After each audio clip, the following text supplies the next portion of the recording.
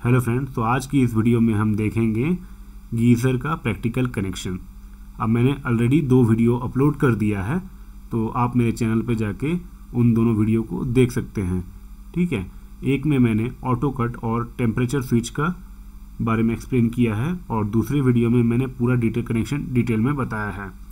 और जो मैंने वहाँ पर ऑटो कट आपको दिखाया था, वो एक लाइव इन वाला था और लाइव आउट वाला था। यहाँ पर क्या है लाइव न्यूट्रल दोनों इन होंगे और लाइव न्यूट्रल दोनों आउट होंगे। तो यहाँ पर आपको लिखा मिल जाएगा लाइव और न्यूट्रल तो इससे आपको ज़्यादा टेंशन लेने की ज़रूरत नहीं है। जहाँ पर लाइव लिखा होगा लाइव कनेक्ट कर देना। जहाँ न्यूट्रल पे लिखा है तो न्यूट्रल कनेक्ट कर देना। फिर लाइव फिर न्यूट्रल आउट ले लेना, ठीक है? तो अब आइए इसका कनेक्शन देखते हैं।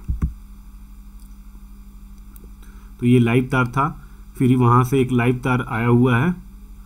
ये लाइव तार आपका गया है टेम्परेचर स्विच को।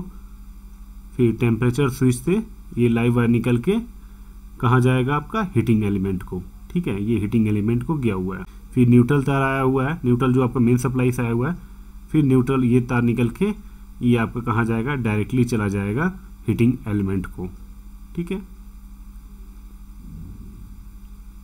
और उसके बाद जो अर्थिंग है, वो उसका बॉडी पे लगा है, जैसा कि आप देख सकते हैं। और ये आपके पास टेम्परेचर सेंसिंग टिप है। ठीक है? तो एक ऑटो कट का होता है और एक आपका टेम्परेचर स्विच का होता है। तो ये हमने इंसर्ट किया है ऑटो कट का। अब हम इसके बाद टेम्परेचर स्विच का भी इंसर्ट कर देंगे। तो एक साथ दोनों इंसर्ट नहीं होगा। पहले आपको एक इंसर्ट करना पड़ेगा, फिर उसके बाद दूसरा भी इंसर्ट करना पड़ेगा। ठीक है, ये जस्ट मैंने आपको शो किया है ताकि जब भी आपका वाटर का टेम्परेचर इंक्रीज करे तो उसके बाद ये सेंस करके आपका ऑटो कट कर दे, ठीक है? या टेम्परेचर स्विच को ऑपरेट करा दे। तो इससे क्या होगा कि आपकी पानी ऑटोमेटिकली जब हीट हो जाएगी तो ऑफ़ हो जाएगी। अदरवाइज़ इलेक्ट्रिसिटी ज़्यादा कंज्यूम होगी, ठीक है? पानी को पूरा बॉयल होगा तो और वो कंडीशन ठीक भी नहीं है। तो आप देख सकते हैं कि इतना ही सारा कनेक्शन होता है। आप ये जो येलो येलो देख रहे होंगे, ये आपका फोम होता है, ठीक है? ये क्या करता है? हीट को इंसुलेट करता है। तो जो अंदर का हीट है, वो बाहर जाके प्लास्टिक बॉडी पे नहीं आता है, जिसके चलते प्लास्टिक बॉडी मेल्ट ना हो, ठीक है?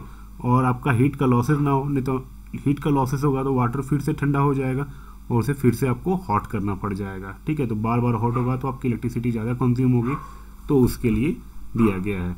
और यहाँ पर आप दो नॉब देख सकते हैं रेड वाला, ये हॉट वाटर के लिए है और ब्लू वाला कोल्ड वाटर के लिए है।